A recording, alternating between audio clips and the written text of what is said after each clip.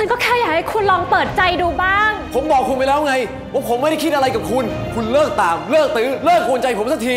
ทำไมเราไม่ลองล่อเสือออกจากถ้ำดูล่ะคะ คุณเนี่ยเป็นคนผลักคุณกริตกบันไดลงมา แล้วหลักฐานที่ผมมีอยู่ก็สามารถยืนยันคำพูดของผมได้ด้วย ฉันถึงละซองหลักฐานอยู่ในนั้น